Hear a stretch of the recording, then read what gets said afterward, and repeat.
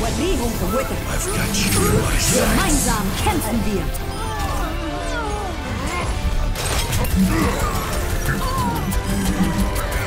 No.